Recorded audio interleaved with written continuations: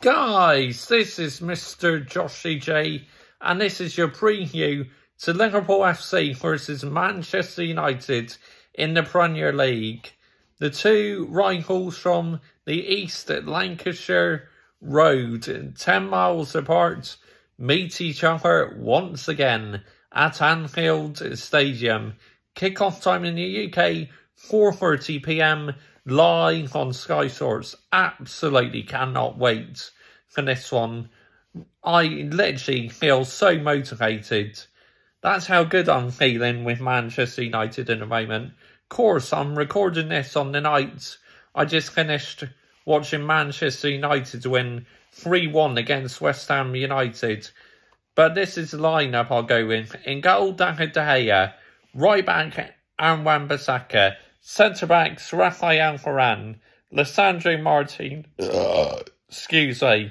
Blame the San Miguel beer. Yeah, left back, Martinez.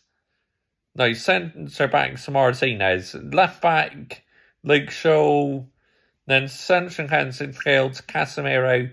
Then in the midfield, I'll go with Jadon Sancho, Sabitzer, Bruno Fernandes, Marcus Rashford, and Luke Weghorst. Yep, that's lineup I'll go with. Now, Manchester United versus Liverpool. You do not need any motivation for this fixture. This is a fixture where both teams should be absolutely fired up for the game. There are no excuses. If you're not motivated for this one, then stay at home. You need to get behind the team. And the players need to perform out on pitch. And we need a good start as well, because watching that first half performance against West Ham, we were shocking, honestly. So we can't afford to do that in this game against Liverpool. We need to start off much better. And of course, Liverpool, as I record this tonight, to just beat some Wolves 2 0 at Anfield. So that's a very good victory for them. So my score prediction for this one, I do feel confident. I believe we can win 2 1 and doing the double over Liverpool for the first time since Gaal was manager. Come on, United! I cannot wait. Absolutely buzzing for the game. Casemiro, he'll be well fired up. Rashford, hopefully, he'll be able to score because he's been absolutely sensational.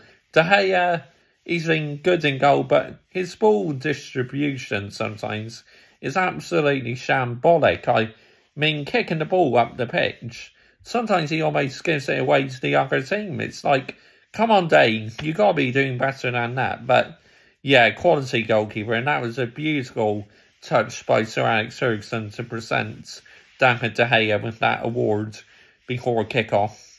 Yeah, that was really good to see Sir Alex Ferguson doing that. But yeah, Liverpool, I know they're not having the best of seasons, but surely they'll turn up in this one.